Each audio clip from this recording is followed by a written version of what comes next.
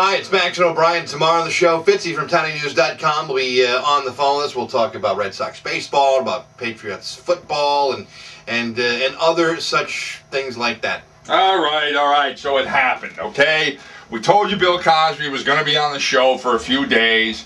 I didn't believe it. I thought for sure he was going to stiff us. Worse people have stiffed us in the past.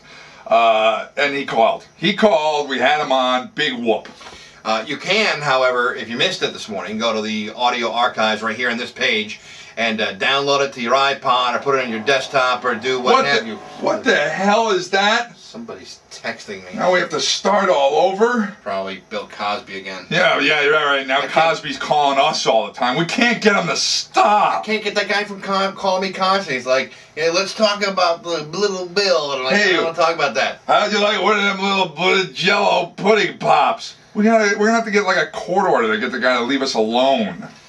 Anyway, uh, between uh, so Fitzy and we'll also have a doctor from Bay State talk about the swine flu, the N1H1 pig flu virus virus uh, thing. Virus. Virus. Yeah, we're gonna talk about that tomorrow. So uh, see you.